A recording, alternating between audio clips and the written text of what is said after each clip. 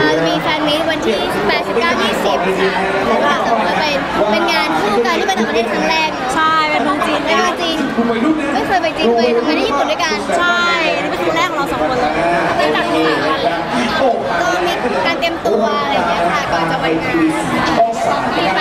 เตรียมเซอร์ไพรส์อะไรไปให้แฟนๆที่นู่นกันบ้างคะมีแน่นอนค่ะเราก็จะไม่คล้ายๆแบบมีโชว์พิเศษเล็กๆน้อยๆกับเราสองคนค่ะมันเป็น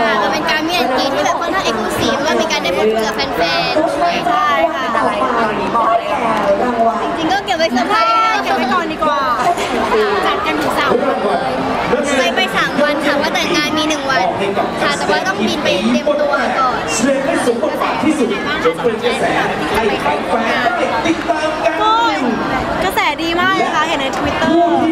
บางบางคนที่เหมือนแบบซื้อบัตรไม่ทันอยู่เมืองไทยก็อยากไปอะไรอย่างในเงี้ย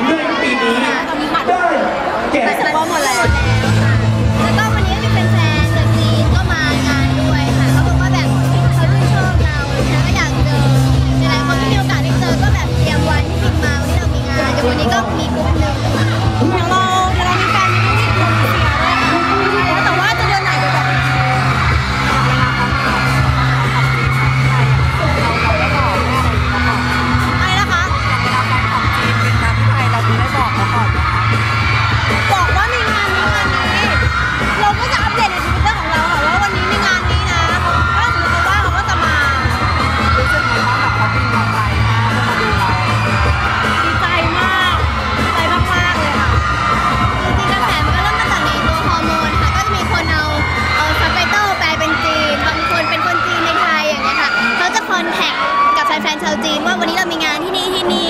ส่วนไหนที่เขาอ่านภาษาไทยไม่ออกเขาจะมีเหมือนเป็นล่ามให้ โดยที่แบบเต็มใจทำให้พวกเราเองอะไรเงี้ยค่ะหลังจากนี้พอ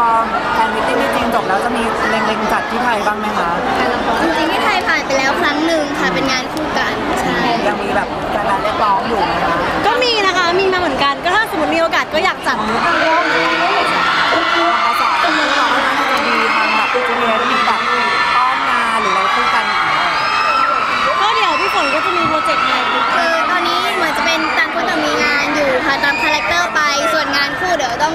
เหมาะสมเนาะใช่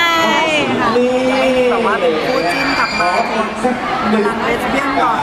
ตอนนี้ยังไม่มีค่ะพบกับสถานี